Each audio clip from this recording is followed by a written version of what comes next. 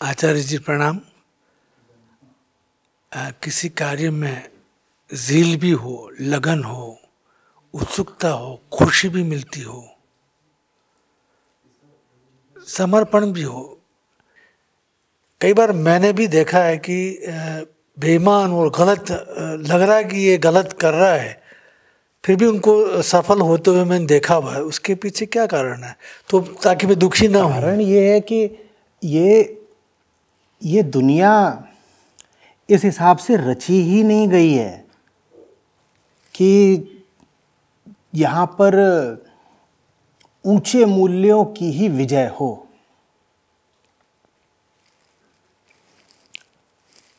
जंगल में कौन से ऊँचे मूल्यों की फतह देखते हैं, आप मुझे बताइए ना। न जाने किसने हमको ये सपना सुंघा दिया।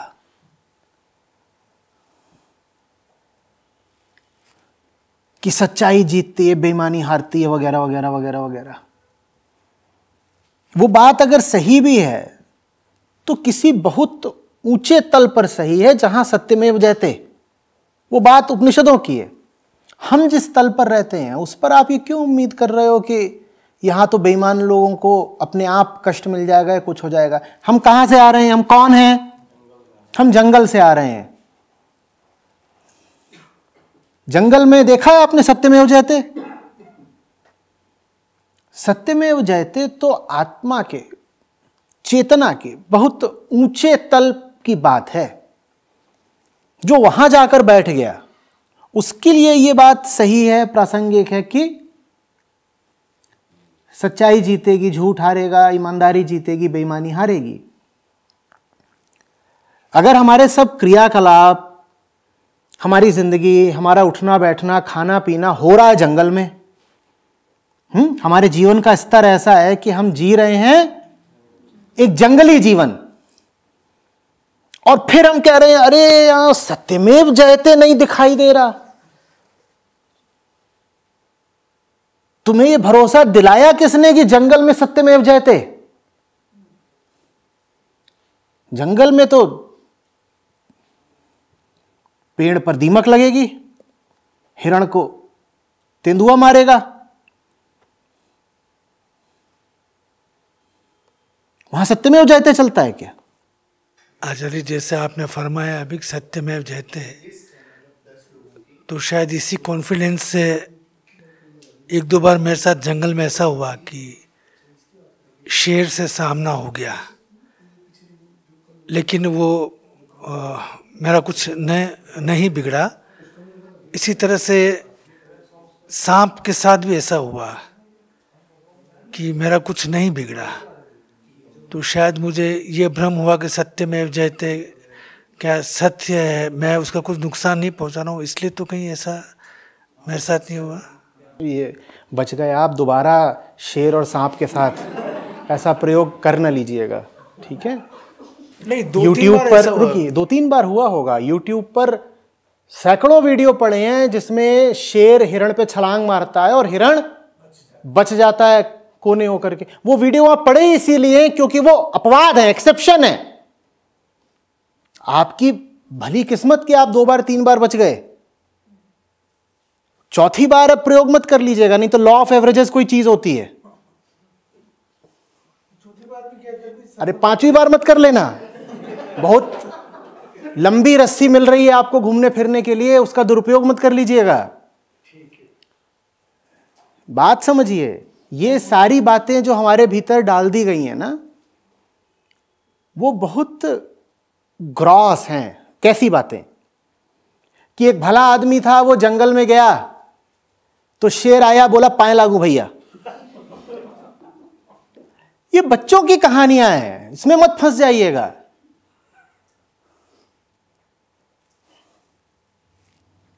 और एक माँ थी, वो अपने बच्चे को खाना खिला रही थी, सांप आया। तो बोला, अरे अरे, ये तो बहुत, इस वक्त ममता का कार्यक्रम चल रहा है, मैं बाद में डसूँगा। ऐसा नहीं होता। ऊँची चीज़ें ऊँचे तलों पर ही होती हैं सिर्फ़।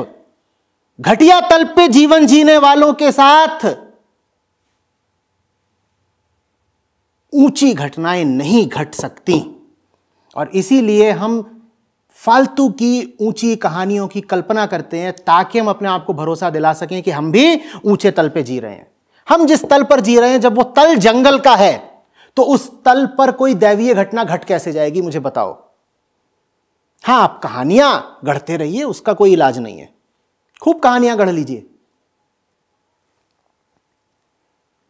वो कहानियाँ फिर वैसे ही होंगी, जंगल बुक जैसी, चड्डी पहन के फूल खिलाए। कि मोगली था, वो गया तो उसको मादा भेड़िया पाल रही है, और शेर खान मोगली को लेने आया तो मादा भोड़िया बोले, तेरा मुँह तोड़ दूँगी, जा तू जाके, मेढक खा। ये जंगल बुक में होता है, ज़िंदगी में नहीं होता। ज़िंदगी में जो ऊँची घटनाएँ घटती हैं, वो बस ऊँचे लोगों के साथ घटती हैं, जो ऊँचे तल पर जी रहे होते हैं। हाँ उनके साथ चमत्कार ज़रूर होते हैं। आपके साथ चमत्कार भी हो सके, इसके लिए पहले आपको अपनी ज़िंदगी का तल बदलना पड़ेगा। जंगल के तल पर तो बस जंगली घटनाएँ घटेंगी। और जंगली घटनाएँ क्या होती हैं? जंगली घटनाएँ यही होती हैं कि मेढक बैठा था बेचारा, पीछे से अचानक पानी से सांप निकला और पक से उसको लेकर अंदर चला गया।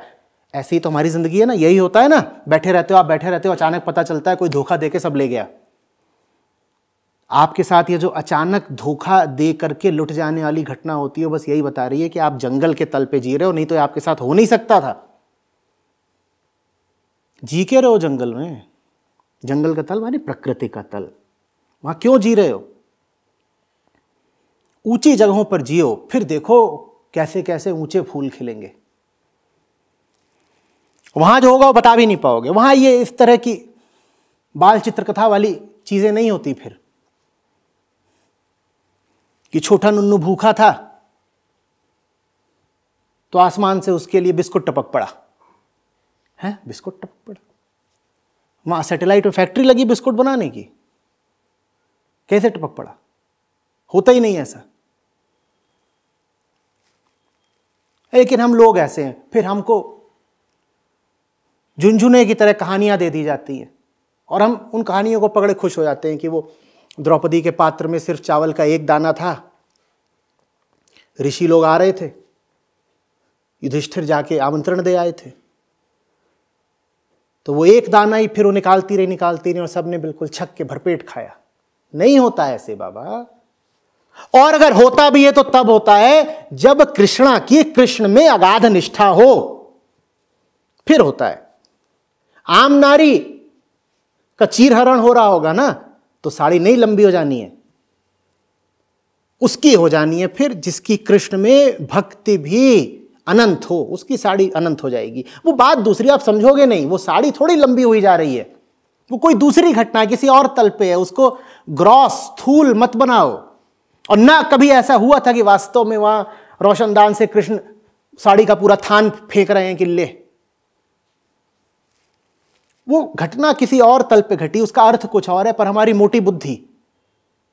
तो हमको ऐसा ही लगता है कि ऐसा ही तो था कि वो उधर से दुशासन और वो सब खींचे जा रहे हैं उधर पीछे से सप्लाई हो रही है। और और बता दो उसके पीछे हुआ है। और दौड़ दौड़ के लोग ला रहे हैं और उसमें धागा डाल रहे हैं फटाफट फटाफट।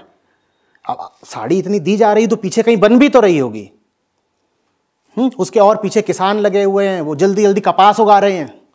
जल्दी जल्दी लाओ रे। साड़ी की इमरजेंसी सप्लाई का ऑर्डर आया है।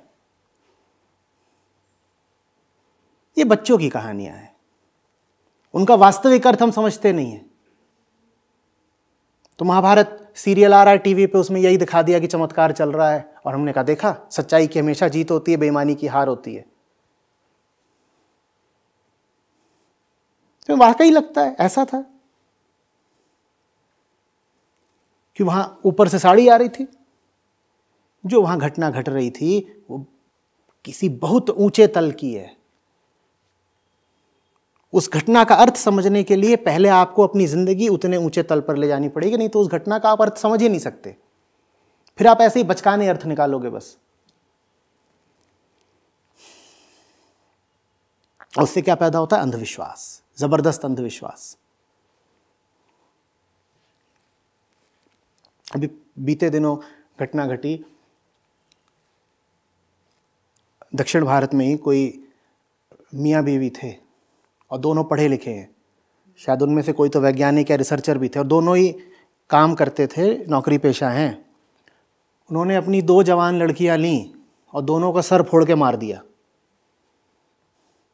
और बोले कि ये जो हमने इनका सर फोड़ के मार दिया है, थोड़ी देर में अब इनको वापस ज़िंदा कर देंगे, इनकी आत्माएँ इनको हम वापस बुला लेंगे। पुलिस पकड़ने आई तो पुलिस के ऊपर हंस रहे हैं, बोल रहे अरे पकड़ो नहीं, अभी इनको दोबारा ज़िंदा किए देते हैं ना। और ये पढ़े लिखे लोगों का काम है।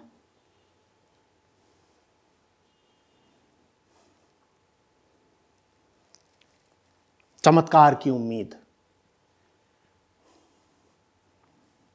फिर हम ऐसी बातें फैलाते हैं, ऐसी किताबें पढ़ते हैं और इसी तरह के बदमाश गुरुओं को प्रोत्साहन देते हैं, जो इसी तरह की बातें फैला रहे हैं। मैंने भूतनी ज़िंदा कर दी, मैंने ये कर दिया, मैंने वो कर दिया, आप जानते ही हैं। मरे हुए को ऐसे जिलाओ, मुर्दे में इतने प्राण बचे रहते हैं। वही सब बातें सुन सुन के ये सब फिर फैल रहा है।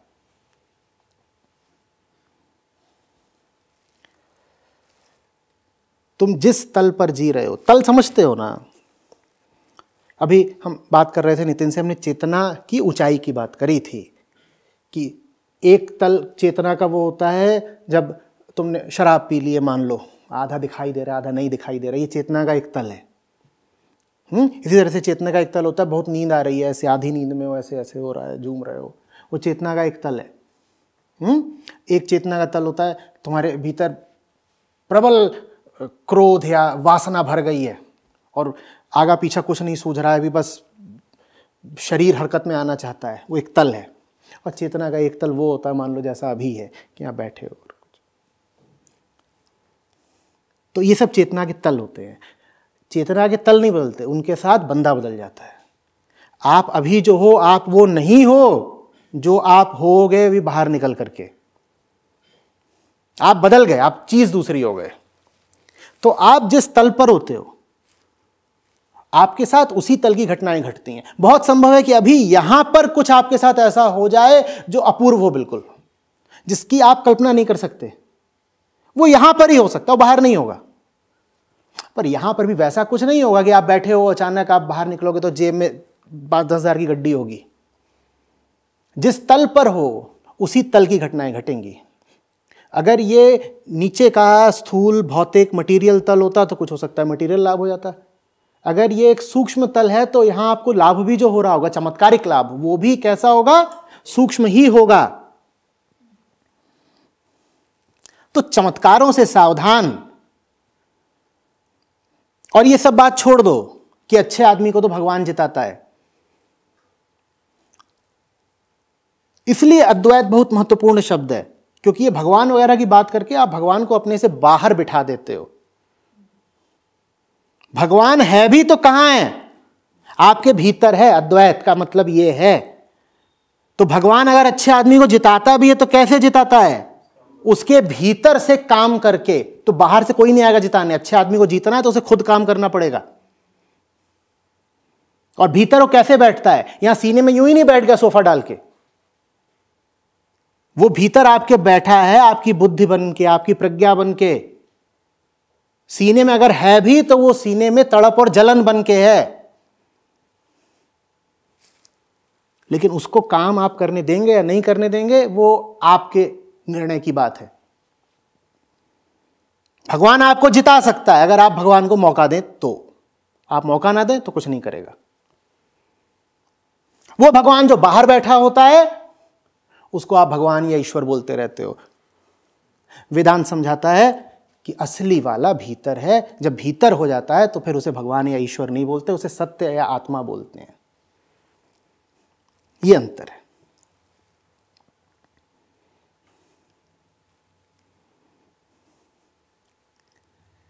समझ में आ रही है? इसीलिए मुझे आप भगवान या ईश्वर शब्द का प्रयोग करता बहुत कम पाएँगे। क्योंकि वहाँ आपने क्या करा? वहाँ कहीं बैठे हैं। जैसा कि आपके चित्रों पोस्टर्स पेंटिंग्स वगैरह में भी होता है ना, और कल्पनाओं में भी होता है कि ऊपर कहीं, इधर, उधर, कोई गेंदे के फूल पे बैठे हैं, कोई हाथी पे बैठे हैं, कोई कुछ कर रहे हैं, कोई कुछ कर रहे हैं। वो सब बातें एक तल तक ठीक हैं। प्रवेश के लिए इनिशिएशन के लिए उनकी उपयोगिता है। पर जो लोग अध्यात्म में थोड़ी तरक्की, थोड़ी प्रौढ़ता हासिल करें उन्हें उन बातों से आगे बढ़ना चाहिए फिर। यही सोचते रहोगे क्या? कि विष्णु भगवान किसी क्षीर सागर में बैठे हुए हैं और लक्ष्मी उनके पाँव दबा रही हैं। विष्णुत्व का असली अर्थ नहीं समझना चाहोगे? हम्म? वैष्णव माने क्या है? जान ही नहीं पाओगे फिर। कभी नहीं समझोगे। अगर यही सोचते रह गए कि कहीं कोई दूध का या खीर का सागर है और वहाँ पे शेषनाग की छाया है, क्या क्या? प्रतीक है। और उनके बहुत सुंदर, शुद्ध, पवित्र अर्थ हैं। उसको समझो पहले। एक मायने में उस सुंदर और असली अर्थ को समझना ही चमत्कार है।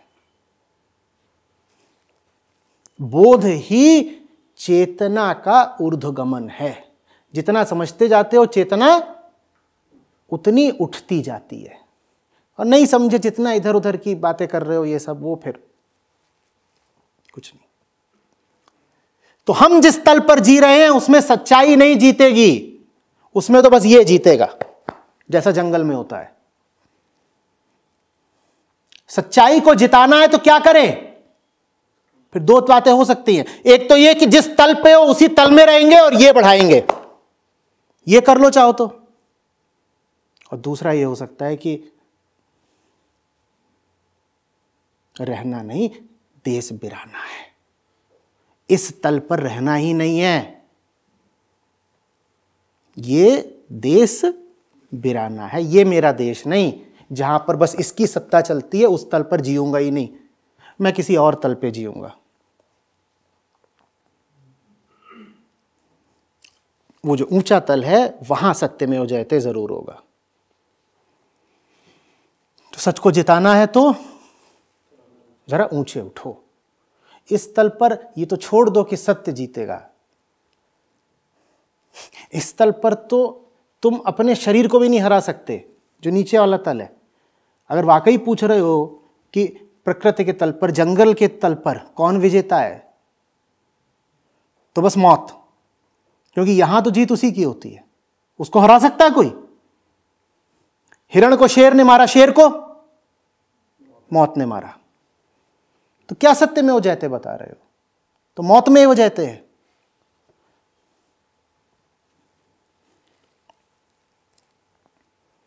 एक ऐसे तल पर जाना होगा, जहाँ मौत छोटी चीज़ हो जाती है, वहाँ सत्य जीतेगा।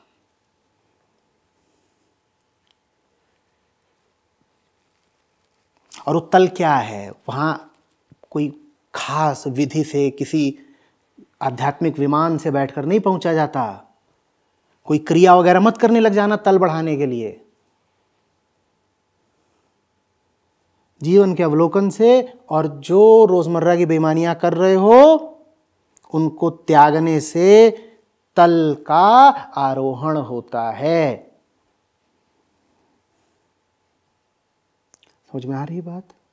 बात इतनी सीधी है कि हम इसे मुँह चुरा नहीं सकते।